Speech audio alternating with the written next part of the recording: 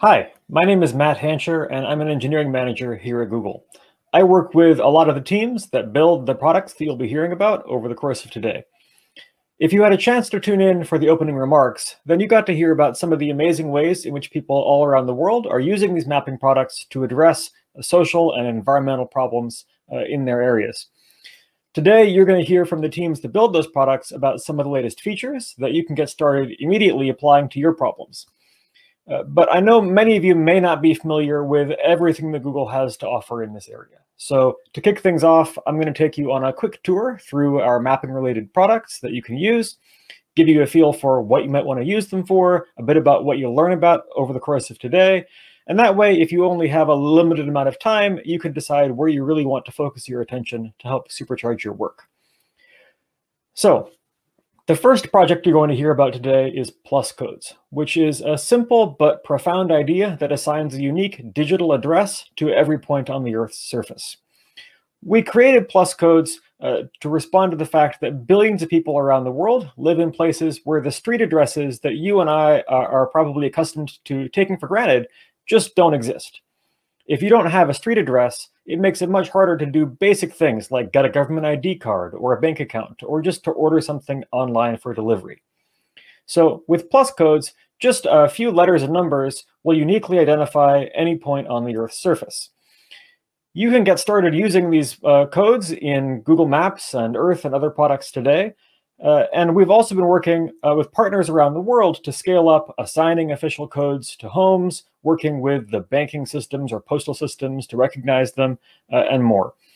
And you can use plus codes in your own projects to identify anything in the real world. Uh, for example, let's say that you're keeping track of a system of um, freshwater wells or trees in the urban forest.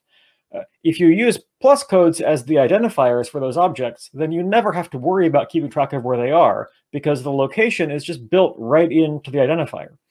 So like I said, this is a really simple but powerful uh, technology, and I'm sure you'll think of all kinds of creative uh, ways to use plus codes in your work.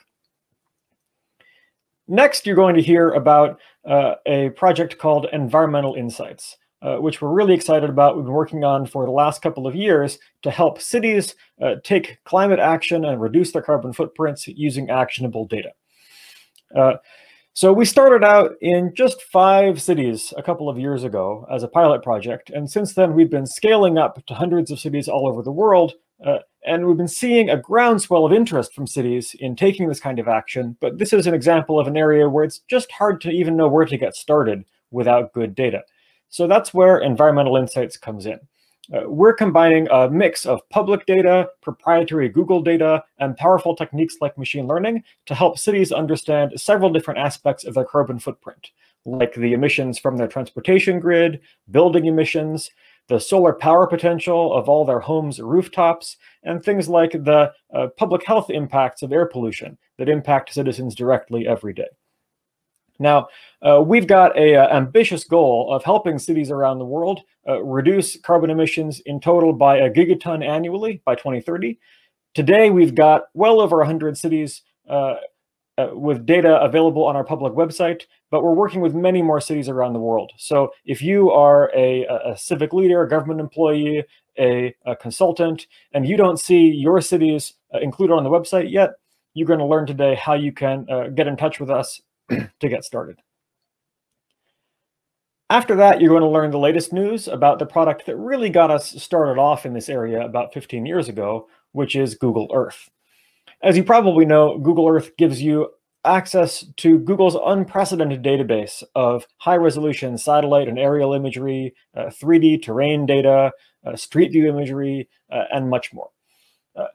They say a picture is worth a thousand words. So we've heard from many of our users about how having access not just to a picture, but to the ability to fly around an area, maybe that you're uh, planning uh, for your next field campaign, or see how an area has changed over time if you're studying some human or man-made phenomenon, uh, is just invaluable.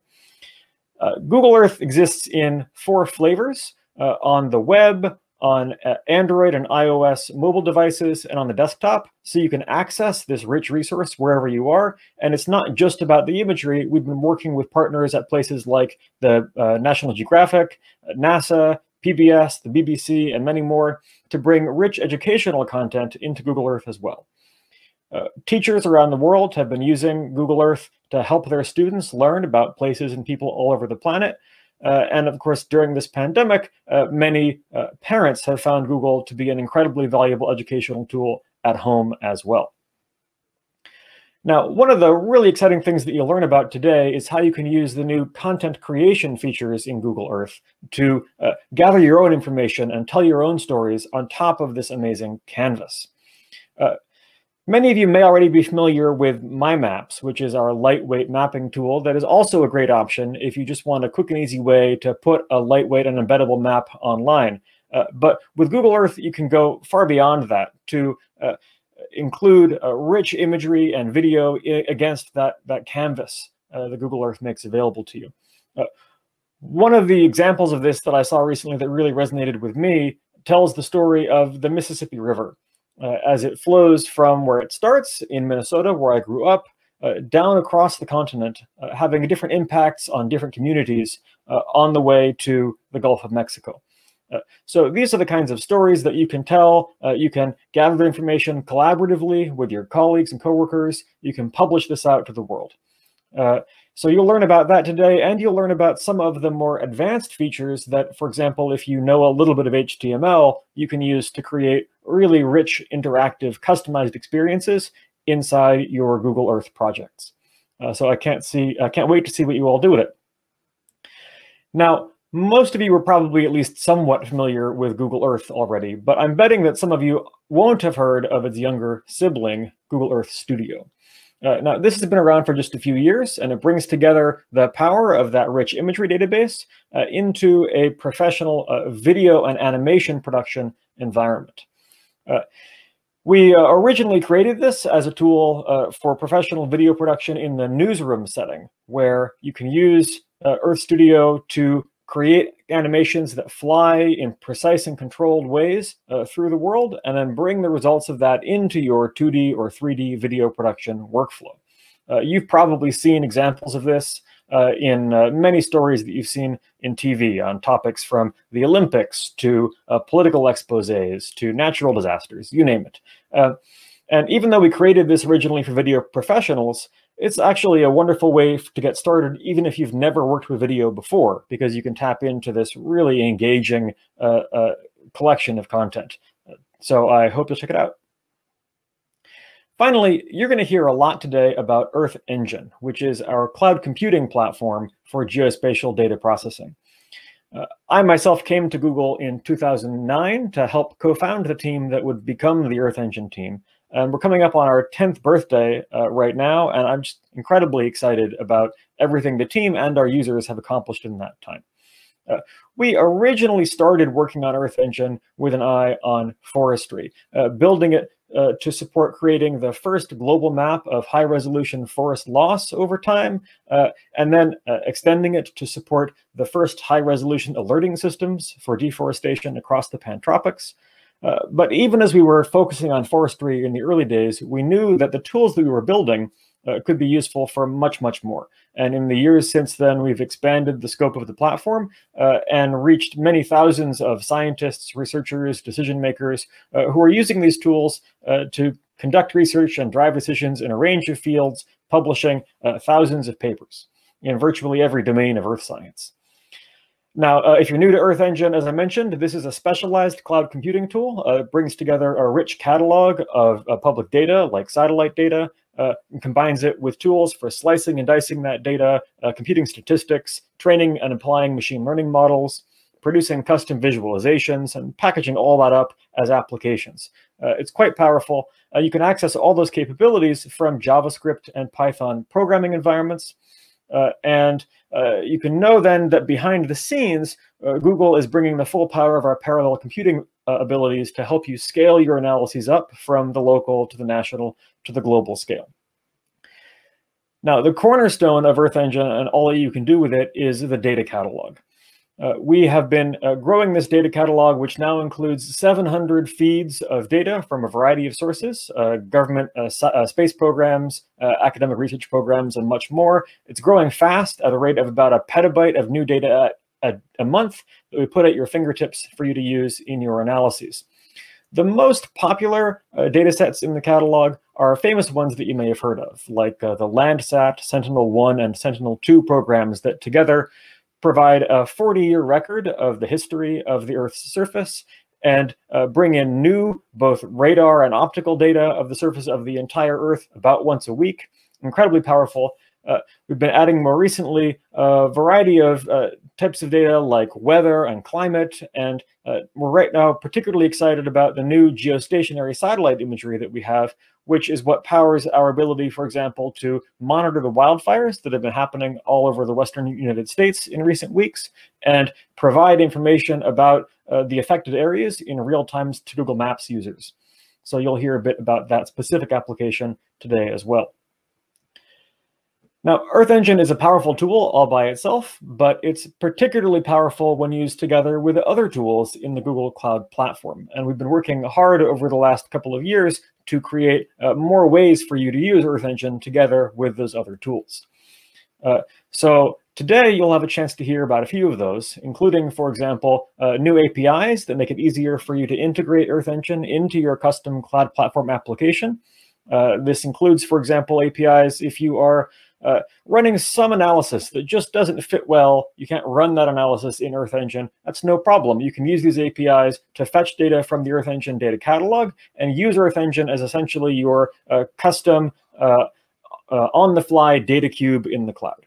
Uh, you'll also hear about technologies that let you use Earth Engine to analyze data that you have in cloud storage. For example, in the popular cloud optimized GeoTIFF file format. And this is a great option uh, for folks who are trying to build hybrid systems that combine the best of conventional file-based image processing with the power of Earth Engine. It's quite powerful for those of you who may be working with large amounts of commercial satellite imagery. Uh, so you'll hear some more about that today. And the area in which we've been investing the most at this uh, combination of cloud and Earth Engine is in the area of machine learning. So uh, the cloud machine learning uh, and uh, AI platform is designed to help you uh, scale uh, your training and your inference tasks. Uh, and with Earth Engine, you can now apply those tools easily to Earth science at scale. so you're going to hear about those underlying technologies today, but you're also going to hear about one particular project that we're very excited about called Dynamic World. Uh, this has been a collaboration between Google, uh, the National Geographic, uh, and the World Resources Institute, uh, focused on the problem of global high-resolution land cover mapping and modeling. Uh, the early results of this work have been rolling out one country at a time in recent weeks, and I've just been incredibly excited to see how the rich detail that comes out of these multi-class probability models captures so much of what's happening in the landscape. Uh, I just get lost uh, panning and zooming around these maps. Uh, so you'll hear more about this collaboration today, about why we've been focusing on land cover mapping, about how we've approached this problem uh, from a scientific partnerships perspective, uh, and about how you can use those same tools to power your own problems uh, using Earth Engine and Cloud AI platform. So I've talked a lot about some of the power tools that are available in Earth Engine, and they're really amazing, but not everyone can write code. And even for those of us who can write code, uh, it can be a pain sometimes to have to go modify a script every time we want to run some uh, new analysis or a variation on a theme. So that's why we created Earth Engine Apps, which is a, a tool that allows you to take any Earth Engine analysis and package it up in a custom graphical user interface very easily. Uh, so you can then uh, create these apps and share them with your colleagues uh, who may not be familiar with running scripts themselves. Uh, you can publish them on the web to make uh, your data or some analysis uh, accessible to everyone. Uh, or you can just use it yourself to automate uh, common routine tasks in your own data science workflows. for example, inside Google Maps, we use Earth Engine apps to bring together dashboards of information from a variety of sources that help us plan uh, how we're going to go about keeping Google Maps up to date around the world. In the outside world, we've seen uh, Earth Engine apps applied to everything from monitoring the spread of COVID-19 globally to uh, studying uh, changes affecting uh, tidal zones, uh, you name it. Uh, today, you'll get a hands-on session where you will learn how you can create your first Earth Engine app, packaging up any of your own Earth Engine scripts. So hopefully that gives you a flavor for the different Google mapping tools, uh, what they might be able to do for you in addressing your own uh, social or environmental projects, uh, and to help you be a positive force for change in your own corner of the world. Uh, buckle up, this is going to be an action-packed day. Uh, thank you so much for joining us.